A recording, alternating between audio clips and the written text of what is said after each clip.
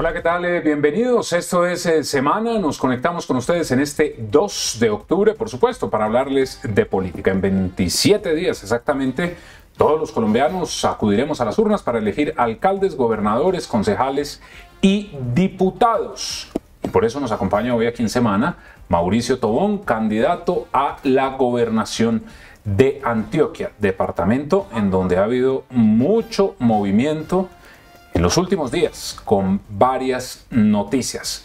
Doctor Tobón, bienvenido a Semana, ¿cómo le va? Diego, muchas gracias por esta invitación y un saludo para toda tu audiencia. Qué bueno tenerlo aquí en Semana porque bueno, nos hemos visto pero virtualmente, ¿no? Así es, Diego, he tenido la oportunidad de estar varias veces en Semana y bueno, hoy tenemos esta maravillosa oportunidad de hablar con toda Colombia bueno, sobre Antioquia. Doctor Tobón, mire, es que hay tantas noticias que por supuesto tengo que preguntárselas primero. ¿Qué opina de la renuncia de Daniel Quintero a la alcaldía? ¿Se mete de lleno a la campaña? Mire, cuando usted lo eligen, hay que cumplirle a sus electores y la primera manera es haciendo bien su trabajo y logrando pues cumplir todo el periodo. Yo creo que esto de alguna manera es un hecho que genera desengaño pues, para, para sus electores. Pero bueno, pues la ciudad hoy está en un momento difícil. Eh, Daniel Quintero mostró durante todo su periodo que no le importaba Medellín, sus obras así lo, así, así lo muestran.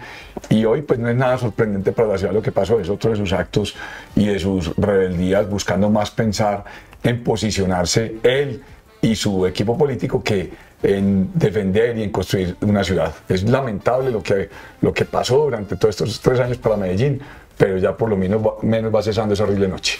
¿Y si va a cambiar en algo la campaña? Es decir, ¿la llegada de Quintero realmente sí impulsará a Juan Carlos Upegui o no cambiarán las cosas? Ah, yo creo que mm, irse a la calle de Daniel Quintero pues seguramente va a mover esta candidatura, pero hay tanto rechazo hoy en las calles, en todos los estratos socioeconómicos hacia Daniel Quintero de parte de la ciudadanía que yo creo que no va a cambiar las cosas. Puede que esto pues logre juntar a algunos, algunos líderes y algunas personas eh, que hoy no están en la candidatura de, de UPEGI, pero creo que, que, es hoy muy, muy difícil que por unas vías eh, legales y a través de las urnas le quiten la alcaldía el triunfo a Federico Gutiérrez. Bueno, y pasando a Antioquia, eh, empezamos por Medellín porque por supuesto Medellín es fundamental para eh, ganar la gobernación. Sin duda se necesitan es, estos votos.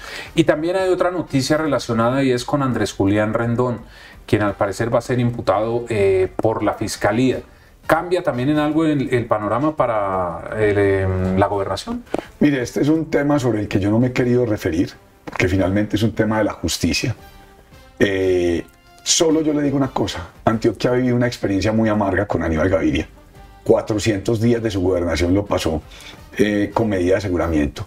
Y Antioquia no quiere repetir esto, porque nuestro departamento hay que recuperarle la grandeza, hay que unir a todos los antioqueños, hay que estar juntos para solucionar esos graves problemas que tiene el departamento. Y no queremos una crisis más de gobernabilidad. Yo le deseo a Andrés Julián Rendón que eh, seguramente... Salga adelante con esta, con esta situación judicial. Él tendrá todas las herramientas y pruebas para demostrar su inocencia, pero Antioquia hay que recuperar la grandeza y no nos podemos quedar nosotros eh, otra vez teniendo este tipo de problemas como el que ya hemos tenido en este periodo con Aníbal Gaviria. Y dejando de lado ese punto, eh, usted en una entrevista con los colegas del colombiano dijo que en la campaña había mucha plata, que estaban metiendo muchísima plata. ¿Quiénes? No, mira, acá, acá hay muchos candidatos que están llenos de plata, eh, que hoy están en las regiones cautivando a la gente más con el dinero que con las propuestas para superar su difícil situación y los problemas que pasan. Tema de que no es secreto, Julián Bedoya, Esteban Restrepo, eh, el mismo caso de Fernando Suárez. Entonces, hoy Andrés Julián Rendón, por supuesto, hoy ellos pues creen que van a ganar con el dinero y no, acá hay que es ganar con, con, el corazón, pensando en que vamos a llegar a gobernar Antioquia, cuidando de los antioqueños, solucionando los graves problemas que tenemos en materia de seguridad, en materia de empleo, teniendo un gobernador que haga presencia en los territorios y sobre todo, como lo he dicho, para recuperar la grandeza de Antioquia, Diego, que es lo más importante hoy.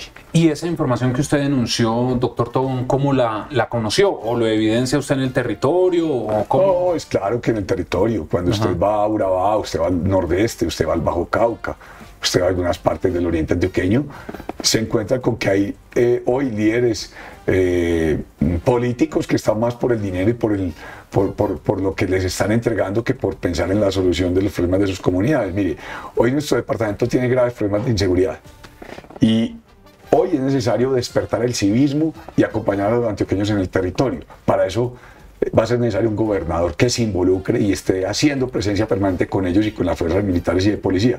Pero un gobernador que llega comprando conciencias, un candidato que le va a pagar a la gente, un candidato que le entrega el tamal, pero ya no es el tamal, sino los billetes de 100 mil, pues simplemente la comunidad que entienda que no van a tener un gobernador con compromiso, sino simplemente una persona que llegó a hacer un negocio para llenarse sus bolsillos y el de sus amigos, a punta de contratación pública, Diego. Claro. Doctor Tobón, ¿qué pasó con esa alianza con Juan Diego Gómez. Y se lo pregunto porque, pues Federico Gutiérrez siempre ha intentado, digamos, como integrarlos a ustedes, lograr una candidatura única alrededor de, de ustedes. Él eligió a Andrés Julián Rendón, pero sin duda eh, el tema judicial de Rendón podría complicar un poco las cosas. En ese sentido, no podría en este momento eh, revivirse esta alianza suya con Juan Diego Gómez, por ejemplo? Mire, Diego, yo voy a votar por Federico Gutiérrez, porque es hoy el mejor candidato que, me, que conoce a Medellín, que ha demostrado tener una vida eh, eh, pulcra, decente, y voy a votar por él pensando como una persona que ama a Medellín. Y porque sé que va a ser el gobernador de Antioquia y con él voy a poder hacer una buena llave para rescatar Sabia Salud, que es la salud de 1.700.000 antioqueños que está bien en riesgo, para hacer el tren del río entre la estación Poblado y Barbosa, para poder hacer el túnel al aeropuerto y para poder terminar Hidroituango. Tenemos que tener una buena sociedad con Federico Gutiérrez. Yo voto por él y espero que muchos de sus seguidores también voten por mí. Ahora, con Juan Diego tenemos una, una, buena relación, estuvimos conversando, pero efectivamente no nos pudimos poner de acuerdo. Entonces, pues. Es que ya por el tarjetón, ¿no? Es muy difícil. Es que es imposible, Diego. Es, que, es que usted a la, a, a la, opinión pública, usted ya no puede decirle, no, mire, es que yo estoy apoyando a Fulanito, o Fulanito me apoya a mí. Simplemente eso nos llevaría a confundir tanto a la gente que no, termina, no terminaría siendo beneficioso. Yo quiero invitar a todos los antioqueños a que voten por Mauricio Tobón. Voy a llegar a cuidar de Antioquia, a cuidar de ustedes, a darles tranquilidad, seguridad, paz, posibilidades para el empleo y el progreso. Y mi alianza es con ustedes, mi alianza es con los ciudadanos para seguir avanzando y progresando. ¿Usted cree en las encuestas, doctor Tobón? Mire, sin duda, cuando se hacen con rigor y con técnica, yo creo en las encuestas, pero lamentablemente Antioquia es un caso sui, generis en este momento. Encuestas manipuladas, con firmas que, que, que no se conocen, eh, mostrando resultados completamente distintos. Eh, entonces se han sumado muchas cosas, muchos males en Antioquia. La política cargada de plata, comprando conciencias, comprando encuestas que, que, como le digo, transforman la realidad. Y para mí, sin duda alguna, la gran encuesta es el 29 de octubre con el voto de los ciudadanos independientes. Yo no voy avalado por un partido político, yo me avalé por firmas, porque creo que los partidos políticos no le han solucionado a la gente sus necesidades y sus problemas. Y que la mejor manera es tener un ciudadano, un buen ejecutivo que haga bien las cosas. Entre tantos problemas que hay en todo el país en este momento, doctor Tobón, uno de los asuntos que más preocupa es el de la seguridad. Eso no hay duda que en este momento a toda Colombia la tiene preocupada. En todas las regiones hay problemas de seguridad. En el departamento de Antioquia, ¿usted qué haría para solucionar este asunto? Las bandas criminales, eh, todo este tipo de delitos que vienen en aumento, las extorsiones, todo esto. ¿Cómo Diego, mire, en, en Antioquia están todas las bandas criminales nacionales e internacionales que tienen presencia en Colombia, menos el grupo Iván Mordisco y la, y la segunda Marquetalia. O sea, están todos.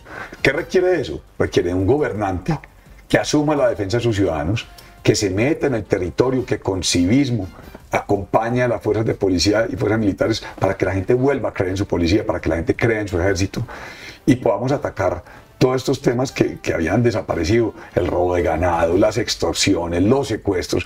Por supuesto, necesitamos tecnología, necesitamos ver cómo tenemos una mayor cantidad de policías y necesitamos también atacar el hambre y atacar la corrupción, porque es que hay, hay algo que es claro. Un ladrón en la calle lo elige a usted como su víctima. Y usted, cuando elige a un corrupto, está eligiendo a usted al ladrón. Entonces mire qué antagónico es el tema. La gente pide seguridad, pero con su voto terminan eligiendo eh, un delincuente, porque el, el, que compra un voto clarísimamente es un delincuente. Entonces, yo creo que hay que apelar al civismo, hay que apelar a la conciencia ciudadana, hay que apelar a la gente para que nos apersonemos de esos procesos y la seguridad la construyamos entre todos, brindándole oportunidades y posibilidades a la gente. Doctor Tomón, usted siempre ha sido claro en que en Antioquia debe existir un frente, eh, o mejor, un bloque que le haga frente al petrismo. Si usted llega a ser gobernador, ¿Cómo sería su relación con el presidente Gustavo Petro? En este momento, la relación del mandatario con los gobernadores y alcaldes es casi nula, no existe. En todo el país. En todo el país. Y con el único es con Carlos Caicedo, gobernador del Magdalena. Así es. O sea, solamente con un solo gobernador de los 32. ¿Cómo sería su relación con el presidente Petro? Quiero contarle, acaba, nosotros estamos terminando las autopistas 4G, ya llevamos casi 15 años en su construcción. Y faltan algunos recursos a través de la ANI para terminarlos. Acaba de decir Gustavo Petro que no pone un solo peso para terminar las vías de Antioquia las 4G. Acaba de existir una reclamación de eh, tener un mayor pie de fuerza, ya dijo que él no pone un solo peso para tener más policías en Antioquia. Antioquia está hoy eh, relegada por el gobierno nacional, que requiere tener un buen alcalde, por eso voy a votar por Federico Gutiérrez, un buen gobernador que se apersone estos problemas y ver en la institucionalidad cómo logra manejar bien las cosas con el gobierno nacional para poder acceder a esos recursos.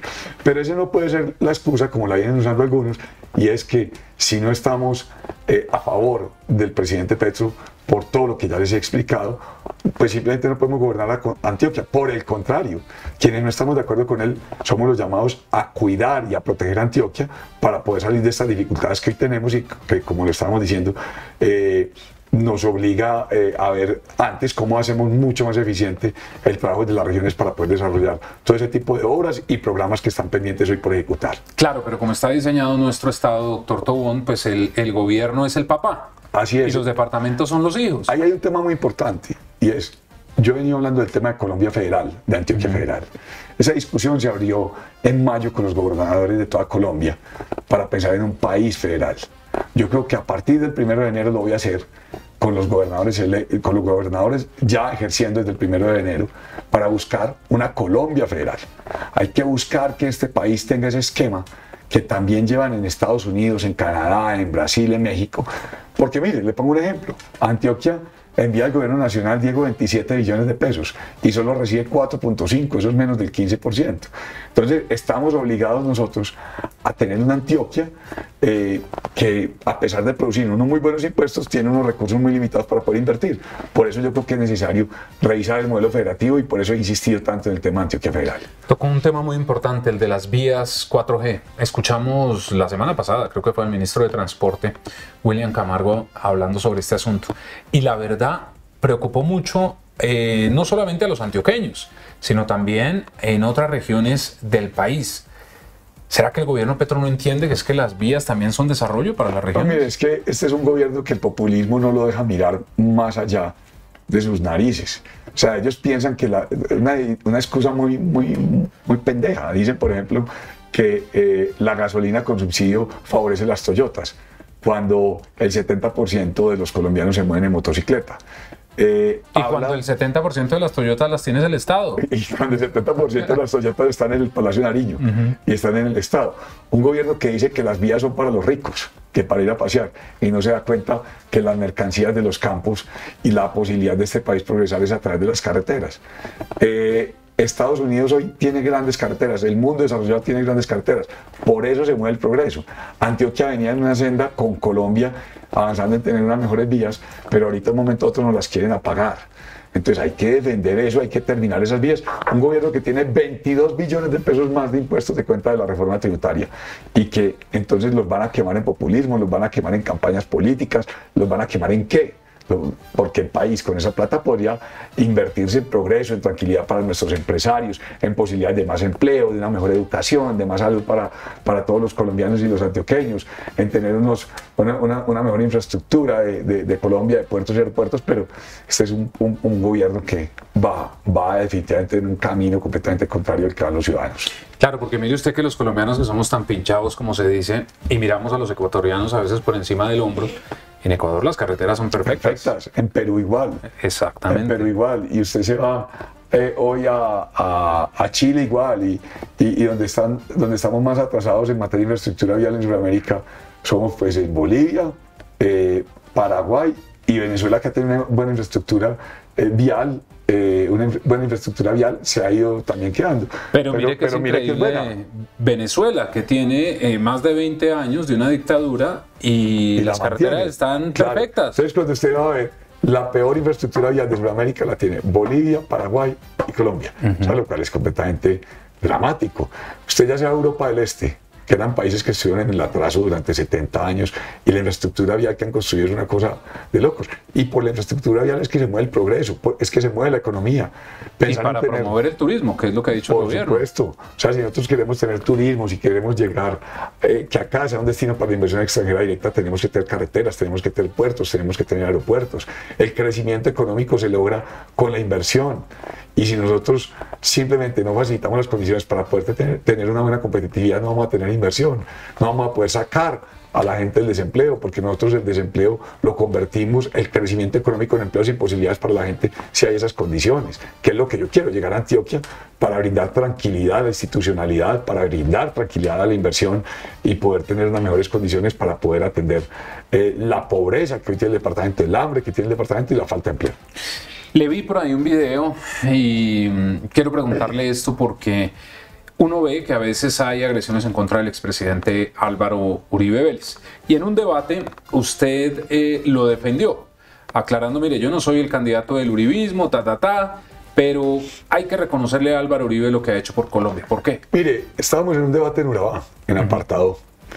Esa es una región de Antioquia que ha sufrido mucho, una región que la violencia eh, dejó muchas, muchos, mucha sangre, derramamiento de sangre, una región que cayó en la pobreza absoluta eh, al no existir inversión en ella, y Uribe, Álvaro Uribe en su gobierno recuperó Urabá, eh, derrotó a la, a, la, a la, insurgencia, derrotó el paramilitarismo y permitió que volviera la inversión, que volviera el progreso, que volvieran los empleos, que volvieran las posibilidades para la gente de Urabá y simplemente en ese debate, pues por, por pura campaña se dedicaron a insultarlo. Yo les dije, mira, Álvaro Uribe es un hombre que con sus problemas, con sus dificultades, con todo lo que tiene por decirse de él, pues hay que reconocerle que también ha hecho cosas buenas y, muchas de las cosas buenas las hizo por Urabá. Y eso fue lo que yo quise manifestar, que no solamente era por una campaña política destruir una persona que también ha hecho cosas buenas por una región tan importante como los Urabá. Pues doctor Tobón, nos vamos porque usted tiene un vuelo, se regresa a Medellín, pero antes de irse Cuénteles a los habitantes del departamento de Antioquia por qué deberían votar por usted. Mire, quiero decirle eh, a todos los antioqueños que es hora de recuperar la grandeza de Antioquia, que es hora de recuperar la esperanza, las posibilidades, de trabajar por el crecimiento económico para que haya muchos más empleos en Antioquia, de recuperar la seguridad para que la gente pueda trabajar, vivir el campo, puedan estar en sus cultivos sin ningún problema recuperar la esperanza para que los jóvenes sepan que se van a poder emplear y van a poder tener futuro en Antioquia, recuperar el dinero de los impuestos para poder invertir en infraestructura educativa, vial, de salud, es devolverle las posibilidades a todos los antioqueños con confianza, donde Mauricio Tobón es el candidato de la gente, de los ciudadanos. Yo no le pertenezco a ningún jefe político ni a ningún partido político, le pertenezco a la ciudadanía. Por eso quiero llegar para cuidar de Antioquia y para cuidar de ustedes con confianza y con trabajo por una Antioquia eh, unida y una Antioquia grande. Pues doctor Tobón, gracias eh, por haber estado con nosotros aquí en Semana y ustedes también por acompañarnos. Ingresen a www.semana.com, allí encontrarán todas las noticias de Colombia y el mundo y además un especial en donde encontrarán, un especial multimedia, en donde encontrarán toda la información de los candidatos de los principales departamentos y ciudades capitales para que definan por quiénes van a votar el próximo 29 de octubre. Que estén muy bien.